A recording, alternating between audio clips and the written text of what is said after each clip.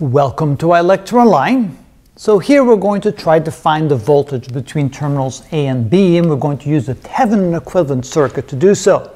Well it turns out that the voltage between A and B with no load is equal to the Thevenin voltage. So when we draw the Thevenin equivalent circuit it will look like this. We have a voltage supply, we have a impedance in series, and then we have terminals A and B. And so we need to find the Thevenin impedance, and then we need to find the Thevenin voltage. And notice that the voltage between A and B is going to be equal to the Thevenin voltage. All right, so how do we do that? Well, first of all, we take our circuit like this and we convert it so that we can find the Thevenin impedance. And we do so by removing the, circuit, the source, the current source, and replacing it by an open circuit. Now we find the impedance across A and B, which is essentially the Thevenin impedance.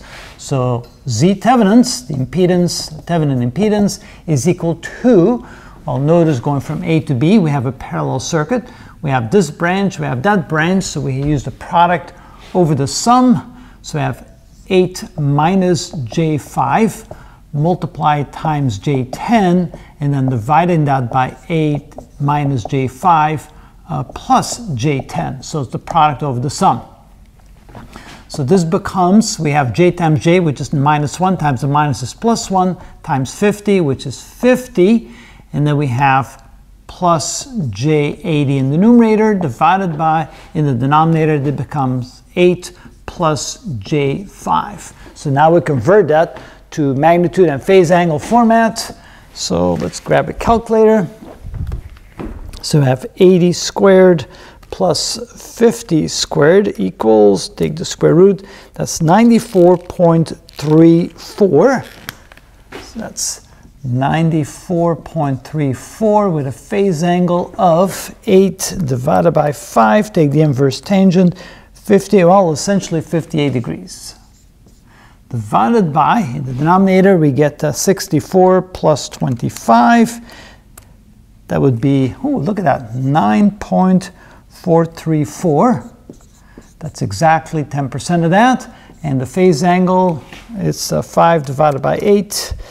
Take the inverse tangent, exactly 32 degrees. So this would be equal to 10 with a phase angle of 26 degrees. Yes. All right.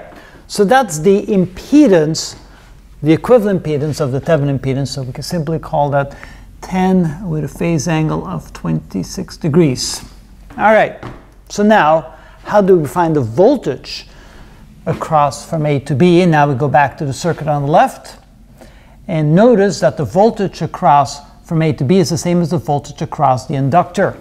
So that means that we want to find the voltage across here, which would be equal to the current through there. Let's call that I2, I through the second branch. And so we know that voltage from A to B is equal to the Thevenin voltage, which is equal to the current I2 multiplied times the impedance of the inductor, which is J10. So all we have to do now is find I2. How do we find I2? Well, we go back to the circuit. We can say that I2 is equal to I of the source times. So we have current going through here, which is also going through here, as opposed to going through here. So when we deal with a current divider, we take the impedance of the other branch, which is 8, divided by the sum of the two impedances, which is 8 minus J5 plus J10. So this is I of the source, which is 4 with a phase angle of 0 degrees, multiplied times 8, 8 with a phase angle of 0 degrees, divided by, over here we have 8 plus J5. 8 plus J5, like this. And we have that already over here, so that's the same denominator.